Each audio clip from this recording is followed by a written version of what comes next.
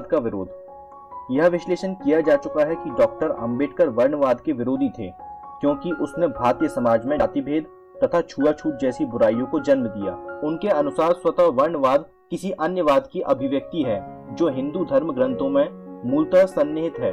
यह वाद ब्राह्मणवाद है, इसलिए डॉक्टर साहब ने न केवल वर्णवाद का, बल्कि ब्राह्मणवाद का प्रतिरोध भी किया। वर्णवाद तथा ब्राह्मणवाद एक दूसरे पर आश्रित तथा एक दूसरे के पोषक हैं। दोनों का मूलाधार असमानता है, जिसके प्रति ही उनका विद्रोह था। डॉक्टर साहब की दृष्टि से ब्राह्मणवाद क्या है? यह समझ लेना आवश्यक है। उन्होंने कहा, ब्राह्मणवाद से मेरा तात्पर्य ब्राह्मणों की उस शक्ति, विशेषाधिकारों तथा हितों से नहीं है, जो उन्हें एक समुदाय के रूप में मिले हुए हैं। मैं इस अर्थ में इस शब्द का प्रयोग नहीं कर रहा हूँ। ब्राह्मणवाद से मेरा मतलब स्वतंत्रता, समता तथा भातृभाव के निषेध से है। इस अर्थ में वह सभी वर्गों में विद्यमान है। केवल ब्राह्मणों तक ही वह सीमित नहीं है। हालाँकि वे ही इसके जन्मदाता रहे हैं, ब्राह्मणवाद का प्रभाव केवल सामाजिक अधिकारों जैसे अंतरजातीय खान पान तथा अंतरजातीय विवाह तक ही सीमित नहीं है। ब्राह्मणवाद नागरिक अधिकारों का भी निषेध करता है। यह ब्राह्मणवाद इतना व्यापक है कि वह आर्थिक अवसरों के क्षेत्र को भी प्रभावित करता है। स्पष्टतः डॉक्टर अंबेडकर की दृष्टि से ब्राह्मणवाद असमानता का दूसरा नाम है। वहीं जाति भेद छुआछूत तथा ऊंच नीच का पोषक है। इसी आधार को लेकर डॉक्टर साहब ने इसी आ, इसी आधार को लेकर डॉक्टर साहब ने अछूत श्रमिकों से पूछा कि वे अपनी कि वे अपनी आर्थिक स्थिति के अवसरों की स्वर्ण हिंदू श्रमिकों से तुलना करें। उन्हें बड़ा अंतर मिलेगा। ऐसे बहुत से विभाग हैं जहाँ अछूतों की नियुक्ति केवल इसलिए नहीं होती कि वे अछूत हैं। अछूतों को मीलों के बुनाई विभाग में नहीं लगाते क्योंकि मुँह से धागा काटना पड़ता है जिसे छूकर स्वर्ण हिंदू श्रमिक अपवित्र हो जाएँगे। रेलवे में उन्हें कुली की जगह नहीं लगाया जाता, क्योंकि कुलियों से स्टेशन मास्टर घरेलू कामकाज करवाते थे। इस प्रकार के आज भी उदाहरण हैं, जहाँ अछूतों या दलितों को नौकरी पर इसलिए नहीं लिया जाता कि वे अछूत हैं। अतः डॉक्टर अंबेडकर ने अपने आलोचकों से कहा था कि जब तक वे ब्राह्मणवादी प्रवृत्ति के विरुद्ध संघर्ष नहीं करेंगे, तब तक वे श्रमिकों को संगठित नहीं कर सकते। आर्थिक अवसरों के क्षेत्र में असमानता के रहते हुए संगठन का सिद्धांत फलीभूत नहीं हो सकता। अन्य शब्दों में डॉक्टर अंबेडकर ने श्रमिकों को यह सलाह दी कि वे अपने अंदर से जाति भेद का अंत करें और असमानता की जड़ ब्राह्मणवाद को उखाड़ फेंकें। अन्यथा श्रमिक एकता का नारा अधूरा पड़ा रहेगा। डॉक्टर अंबेडकर ने ब्राह्मणों तथा ब्राह्मणवाद में स्पष्ट भेद रखा, ताकि ब्राह्मण लोग यह न समझ बैठे कि वह ब्राह्मणों के विरोधी थे। उन्होंने कहा कि यह मानना कि सभी ब्राह्मण अछूते के शत्रु हैं, बिल्कुल गलत है। वह तो उन्हीं लोगों से घृणा करते हैं, जिनमें ब्राह्मणवाद की भावना ऊंच नीच भेदभाव है, क्योंकि ऐसी ही बातें सामाजिक अन्याय तथा असमानता को बढ़ावा देती हैं। अतएव उनकी दृष्टि में एक गैर ब्राह्मण यदि उसमें ऊंच नीच की भावना है तो उतना ही घृणित है, जितना कि कोई ब्राह्मण, जिसके व्यवहार में भी ऊंच नीच की कोई भावना है। इस प्रकार डॉक्टर अंबेडकर की दृष्टि में ब्राह्मण तथा गैर ब्राह्मण का भेद नहीं था, बल्कि जिसमें ब्राह्मणवाद की भावना तथा व्यवहार है, वही समाज का शत्रु है।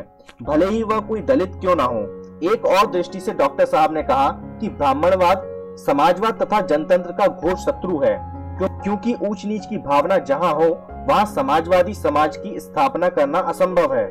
ब्राह्मणवाद न केवल सामाजिक अधिकारों का निषेध करता है, बल्कि समान आर्थिक अवसरों का भी निषेध करता है। इसलिए ब्राह्मणवाद सामाजिक, आर्थिक तथा राजनीतिक दृष्टि से अवांछनीय विचारधारा है।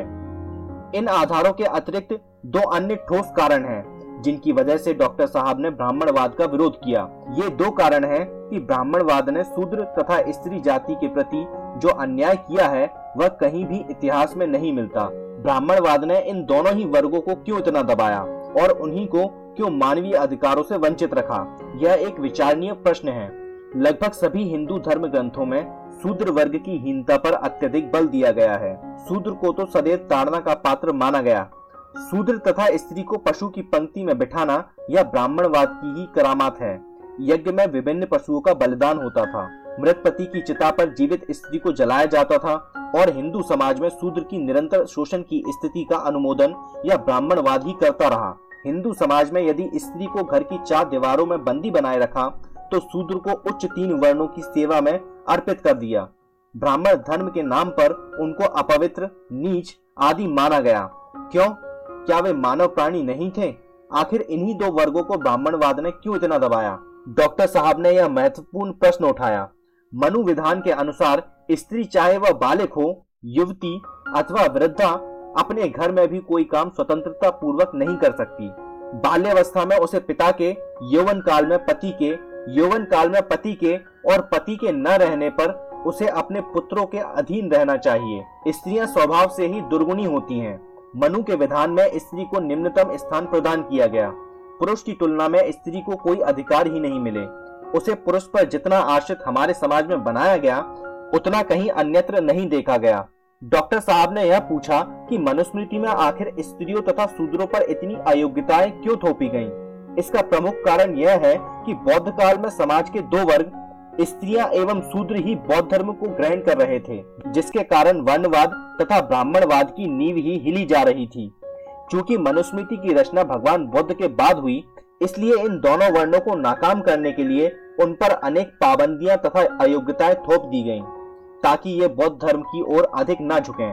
शूद्रों को तो इसलिए भी दबाया गया कि वे ब्राह्मणवादी समाज के प्रति कहीं विद्रोह न कर बैठें।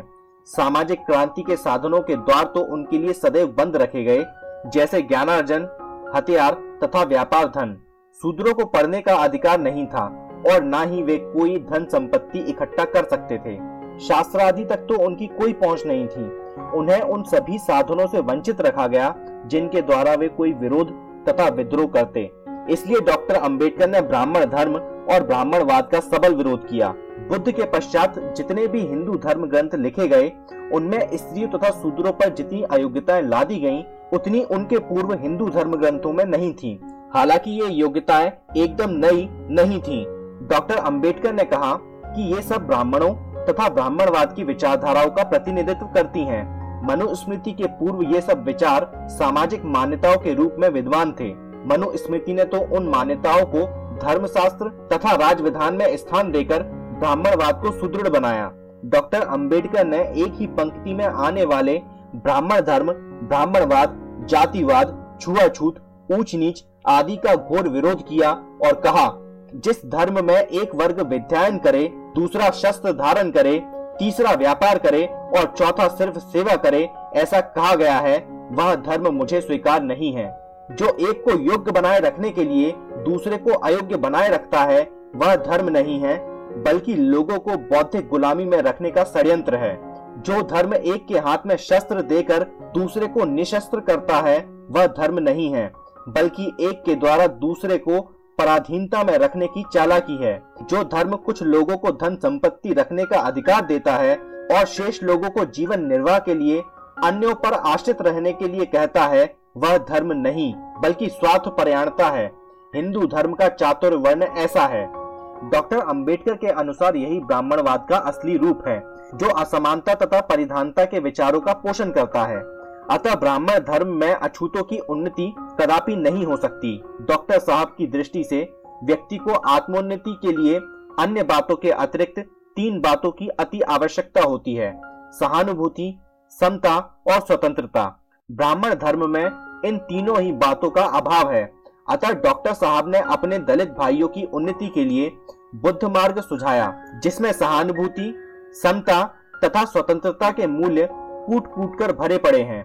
उन्होंने यह स्पष्ट घोषणा की, जिस ब्राह्मण धर्म में मनुष्य को मनुष्यता से व्यवहार करना मना है, वह धर्म नहीं है, उद्दंडता का प्रदर्शन है। जिस धर्म में मानवता की मानवता को पहचानना अधर्म माना जाता है, वह धर्म नहीं, बल्कि एक रोग है। जिस धर्म में पशु को छूत और मनुष्य को अछूत समझा जाता है, वह धर्म नहीं है, एक पागलपन है। जो धर्म एक ही वर्ग से यह कहे कि वह विद्यायन न करे, धन संग्रह न करे और शस्त्र धारण न करे, वह धर्म नहीं, मानव जाति के साथ खिलवाड़ है।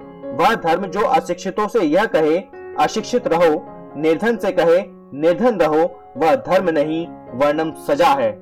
इस प्रकार जिस ब्राह्मणवाद, ब्राह्मण धर्म या वर्णाश्रम धर्म में स्त्री और शूद्रों दोनों को दासी तथा दास माना गया, दोनों ही विद्या पढ़ने वेद शास्त्र सुनने और धार्मिक कर्म कांड करने का अधिकार नहीं दिया गया, उसका प्रतिरोध डॉक्टर अंबेडकर जैसे मनुष्य द्वारा न होता, कल्पना नहीं की जा सकती।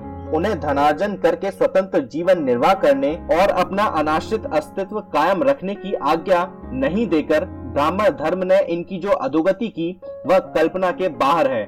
यही कारण है कि डॉक्टर अंबेडकर ने इन दो वर्गों की उन्नति के पद पर लाने के लिए जीवन भर संघर्ष किया। ब्राह्मणवादी विचारधाराओं का तो उन्हें विरोध करना ही था, क्योंकि उनका जीवन दर्शन मूलतः असमानता, अन्याय तथा शोषण के प्रति एक विद्रोह है, जो आज भी उतना ही सजीव है जितना पहले था। संविधान के मुख्य निर्माता के रूप में डॉक्टर अंबेडकर ने उन मानवीय अधिकारों को दलितों तथा सूत्रों के लिए सुलभ बनाया, जिनका उनके लिए ब्राह्मणवाद ने निषेध कर रखा था। उन नागरिक अधिकारों को स्वीकृत करवाया, जिन्हें सदियों से अछूत वर्गों से छीन लिया गया था। स्त्री शूद्र के प्रति जो स्मृति धर्म में अन्यायपूर्ण विधान था, उसको धराशाही किया। इसी प्रकार डॉक्टर अंबेडकर महिला वर्ग के प्रति हो रहे अन्याय के विरुद्ध हिंदू कोर्ट बिल द्वारा मौलिक सुधार लाना चाहते थे। अपनी हट धर्मिता के कारण यद्यपि स्वर्ण हिंदुओं ने उनके मंत्री काल में उसे पास नहीं होने दिया, परंतु बाद में उस बिल की मुख्य धाराएँ किसी न किसी रूप में पास करा दी गईं। कुछ भी हो, महिला वर्ग के प्रति न्याय, उत्थान तथा समता की प्रेरणा तो डॉक्टर अंबेडकर ने ही दी वह समान अधिकार, समान अवसर, स्वतंत्र आजीविका, स्वतंत्र व्यक्तित्व तथा सामाजिक बंधुता जैसे विचारों के समर्थक एवं पोषक थे यही मूल्य उनके समाज दर्शन के मौलिक तत्व हैं, जो सिद्धांततः नकारात्मक दृष्टि से ब्राह्मण धर्म, ब्राह्मणवाद, जातिवाद, छुआछूत, ऊंच नीच अन्याय तथा शोषण के कट्टर विरोधी हैं.